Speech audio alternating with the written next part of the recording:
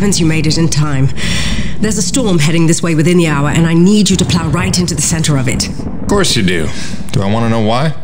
I need to attach sensors to your rig's winch, so time is of the essence. I'll explain while you're on your way to the top of Shack's Peak.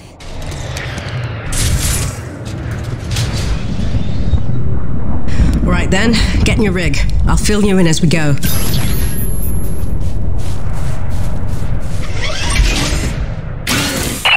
Right, you should see coordinates on your HUD based on where I expect the eye of the storm. Get moving. So what's the skinny, Doc? Since when are we storm chasers? Since I heard every crewman at Coronis buzzing about the big quest for pure T energy.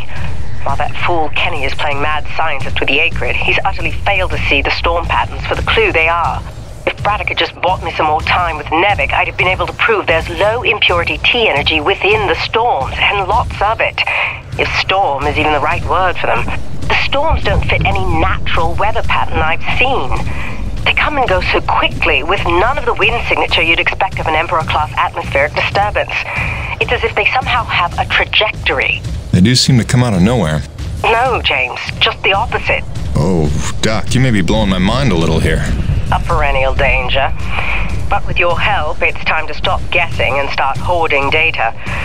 Those custom sensors I installed on your winch are going to run a host of tests to help us figure out precisely what we're dealing with once and for all. With a little luck, we'll find some way to help Corona stay standing in the process. All right. Not like it'll be the craziest thing I do today.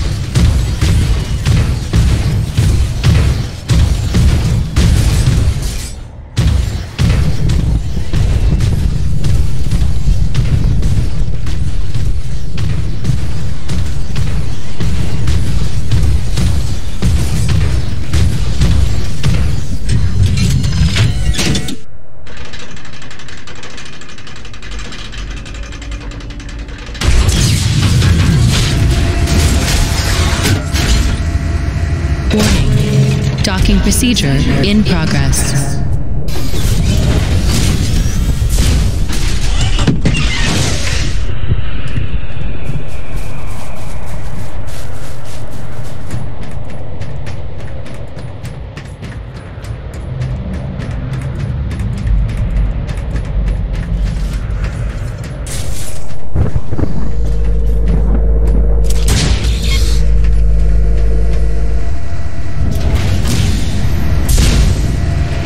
Cargo successfully docked.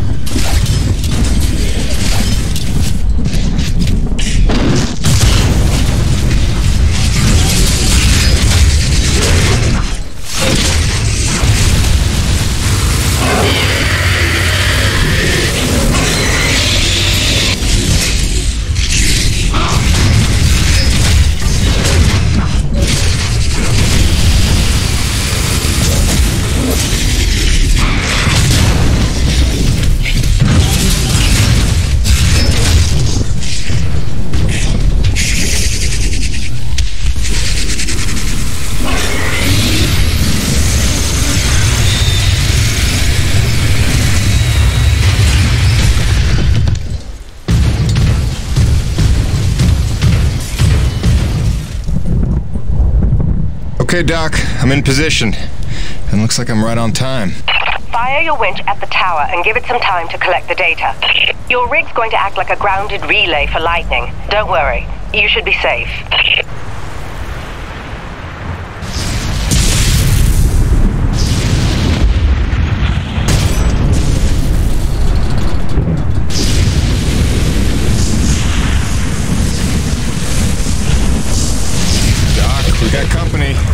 Flyers.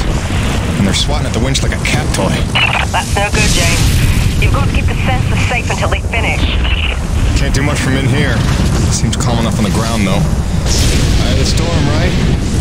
Wish me luck. Good luck. Don't fly off.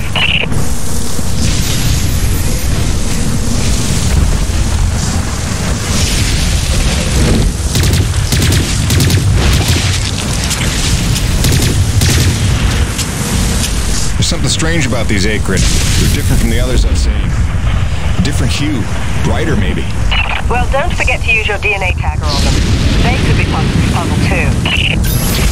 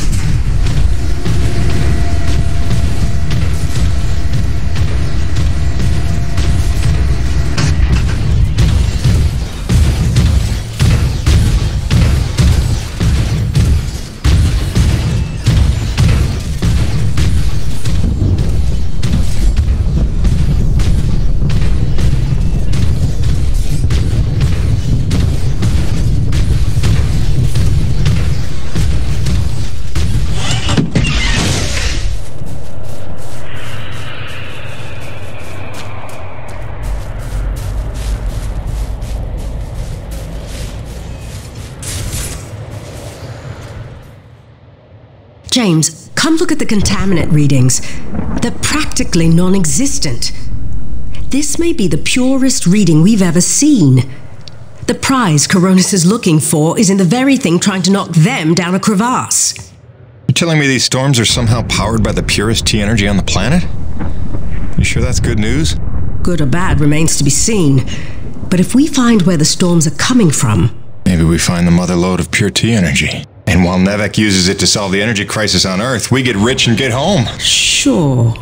And also lay eyes on one of the rarest, most mysterious wonders of the universe. If you're into that sort of thing. Yeah, totally. That too. I'll take some time to fully parse all the data we just took in. I'll let you know what comes of it. Meanwhile, I hate to send you off empty handed.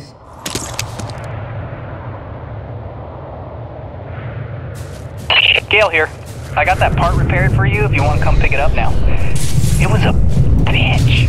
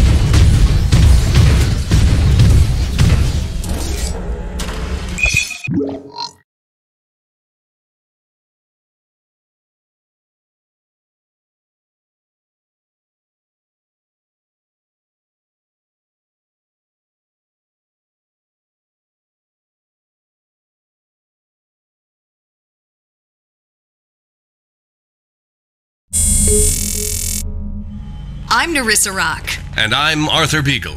You're listening to GPR, Galactic Public Radio, broadcasting and podcasting around the solar system, thanks to the generous support of Neo Venus Construction and listeners like you. On tonight's broadcast, a look back at the Kettleman mining colony 30 years after the depletion. Quarterly energy figures are out. Is the crisis worsening? And austerity riots continue to spread. What protesters are demanding now. All this and more on tonight's All in All.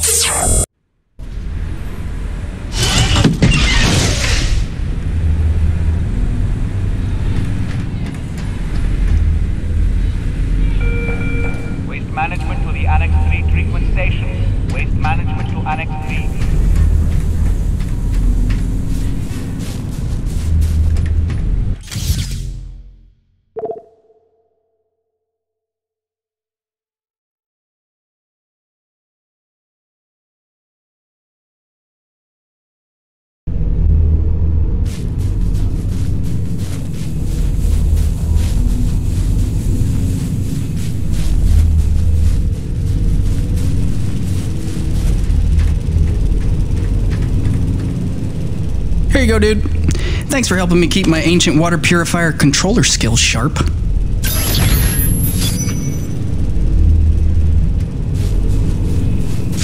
Busting out the welding goggles. Doodles.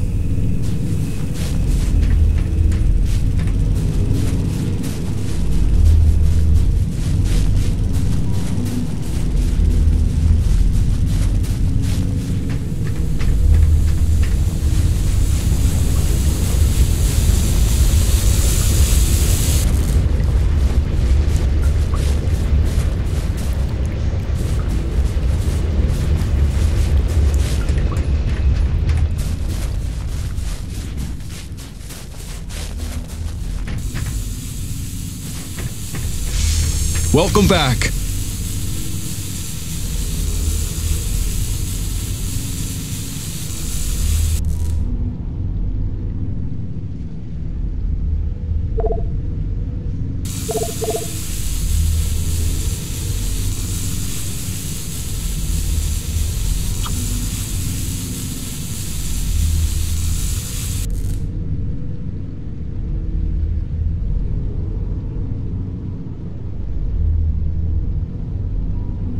That ammo adds severe burn damage if you can hit them Akrid sweet spots. Their blood just ignites and stays burning.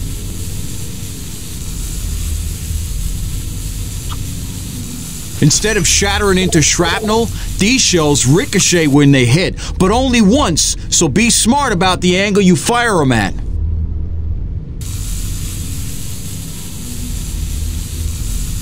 Instead of shattering into shrapnel, these shells ricochet when they hit, but only once, so be smart about the angle you fire them at.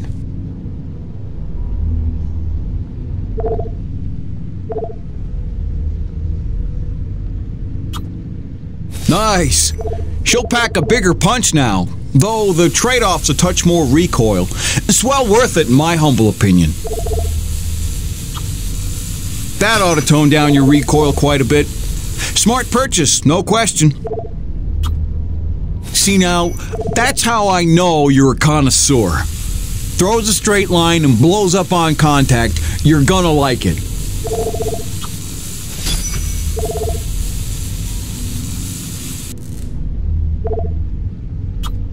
See there, that's the stuff. Great for sniping targets. See yous around. Wait a minute, this is my hunting rifle. It's been in my family for generations. Well, I thought I'd lost it in the supply crash on my first day. What? No, Jim. This was sold to me recently by LaRoche. Said it was in his family for generations. Sorry, but if you're if you're wanting your money back, No worries, Birdie. I'm just glad to have her back. Mr. Jim, Dr. Kovac here.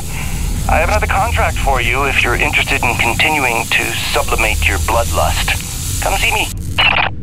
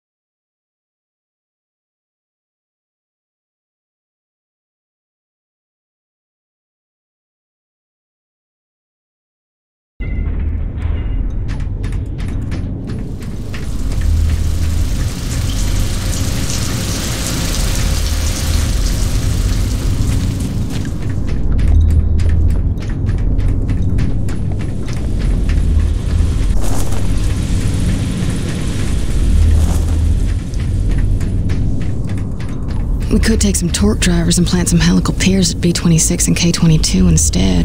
That should ease off some of the lateral load. I'm worried about the pressure. Well, we could take the gauges off A5 and 6 since those are more or less stabilized. But I'm telling you, they're load bearing. There are some plates on there, anchor them down with cable lock, and we're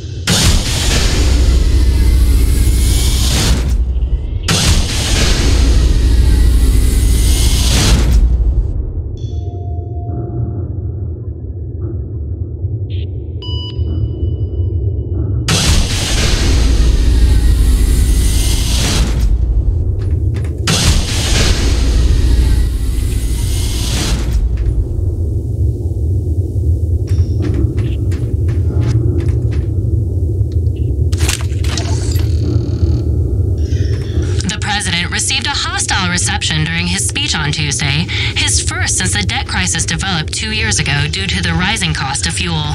Thousands took to the streets protesting the severe austerity measures enforced in exchange for multi billion dollar bailouts. The demonstrations proceeded despite the deployment of more than 6,000 police officers to lock down the Capitol. And despite the president's attempts to placate protesters with promises of further alternative fuel research, analysts predict the new austerity measures will drag the recession into a third year. Reporting for IBR, this is Suzanne Lee.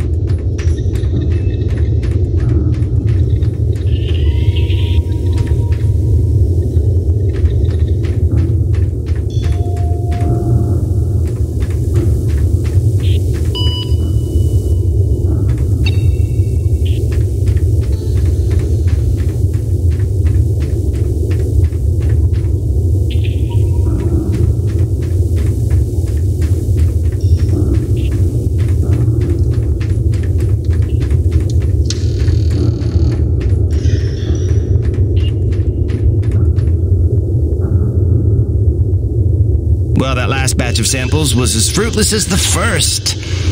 Maybe more fruitless, if that's possible. But I can only drown my sorrows in more science. Let's try another breed.